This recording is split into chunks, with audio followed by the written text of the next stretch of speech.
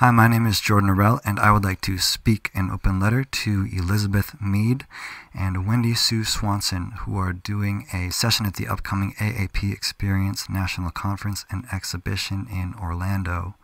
Uh, their session is called Troll Control How to Handle Online Challenges to Your Professional Reputation. So, the original uh, version of this description of the session is here. They changed it, I think, because they were getting too much trolling.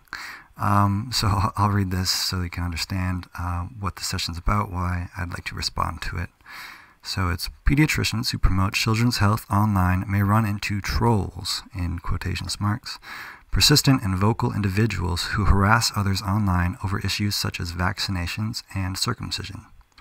Trolls also may post false negative reviews of physicians and practices in some cases, harassment has been extreme enough to warrant legal action from pediatricians.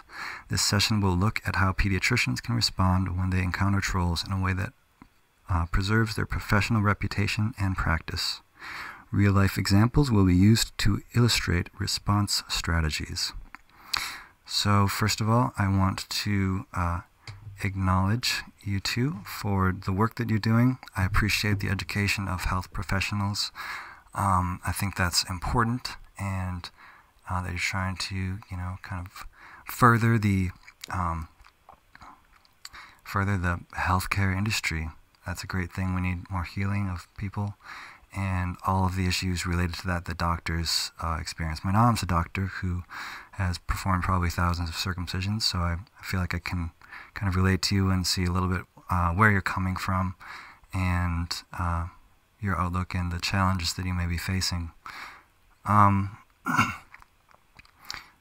so, first, I want to say, you know, circumcision and uh, vaccines are very different issues. I don't really know anything about vaccines, not really uh, interested at this point. Um, I do know a lot about circumcision, and so I'd like to speak to that. And um, yeah, I think that um,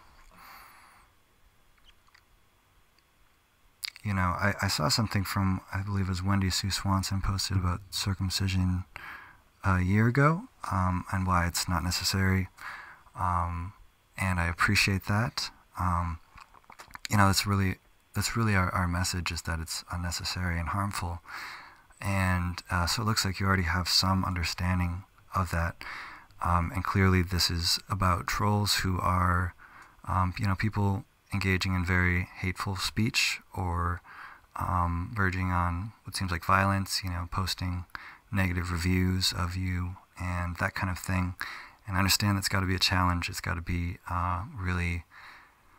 I know you're you're trying to do your best. You have a lot of things to think about. You're very busy people.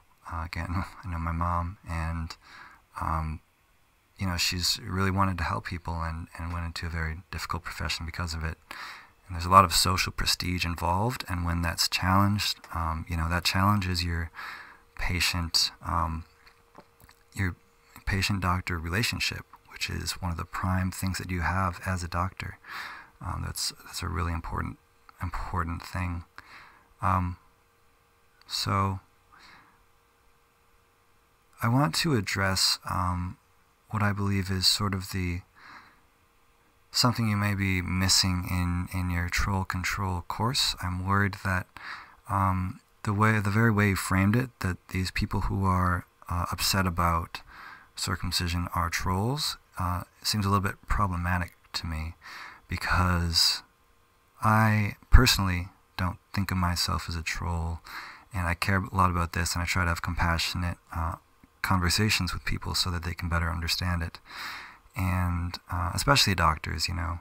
I know it's a really big challenge to say you, you've actually been doing something that's really harmful and that that's not um, not very welcomed. That's not something that you want to hear. And I can empathize with that. Um, but I also want to say, you know, you have to look at the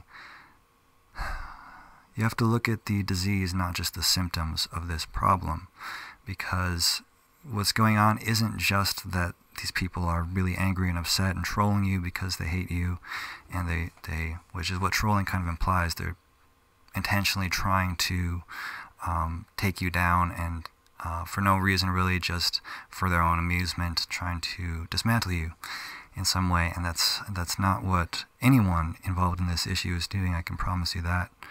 Um, but they are very angry. They are very upset. They're extremely traumatized. Um, I know I was at severe PTSD um, for years around this issue. My psychologist told me to get over it, um, and a lot of a lot of people take that approach. They think you can't really have trauma from circumcision, but I um, I've experienced it firsthand. Unfortunately, it's it's unspeakably horrible.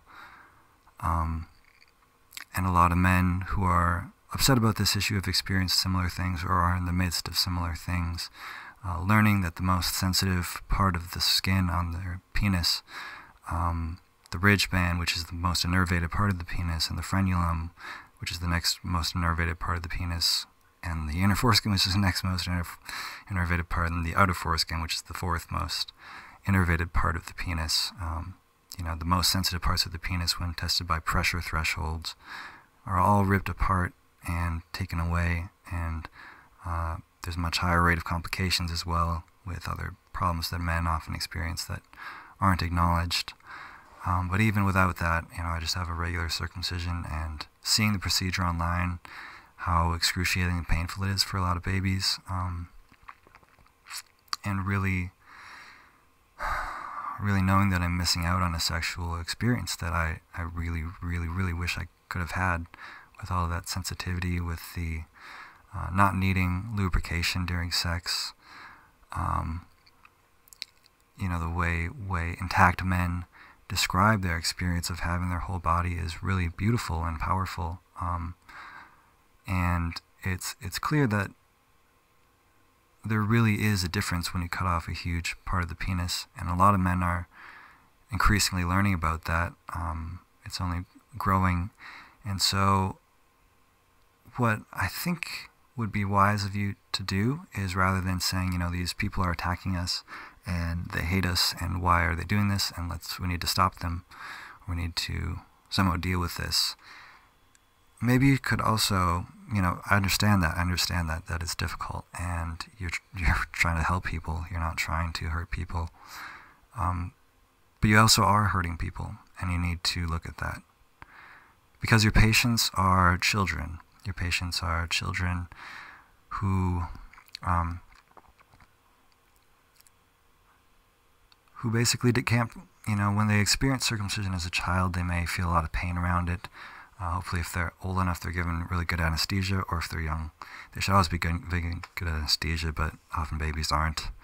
Um, but anyways, the, the immediate pain from it isn't um, necessarily going to be huge for a child.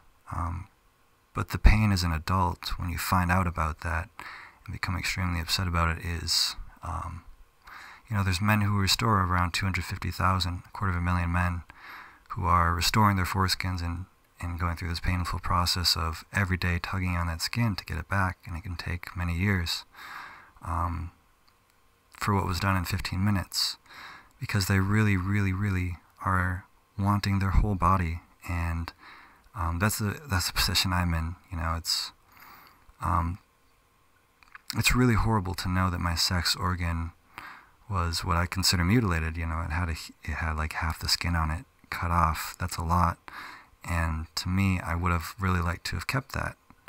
So that's why that's why these men are so upset. You know, um, they don't think it should be the parent's choice to cut off part of their body, and I think you should maybe take a step back and look at what are you doing to deal with that ethical problem, that um, emotional problem that men experience, that your patient is experiencing. All the ones who are harassing you are, are patients who grew up to be extremely traumatized and in unimaginable pain because of what was done to them by you. Um, and so you have to look at yourselves for a second, I think, and just stop and consider maybe maybe they do have something valid to say, even if they're not saying it in a way that's easily digestible.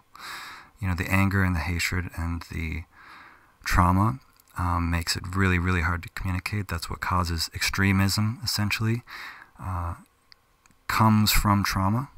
Um, if you look at historically where extremists come from, a religion or a group goes through a very, very uh, horrendous experience and then they become very, very impassioned, very um, sort of emotionally violent and hard to, it's hard to really be reasoned and explain things. I've done a lot of healing work and I'm still doing a lot of healing work every single day to deal with this. But a lot of men um, just weren't, haven't been lucky enough to encounter that and um, are really doing the best they can to tell you, please, please, please stop mutilating the genitals of children. Um, that's how we experience this. Why can't you see that and recognize that? And finally, I just want to say, you know, I understand this is difficult for you to hear. You don't want to uh, be challenged in this way. It's it's not your it's not your fault, right? It's the American Academy of Pediatrics as a whole, and the um, the medical industry. You know, there's a lot of people you can blame it on.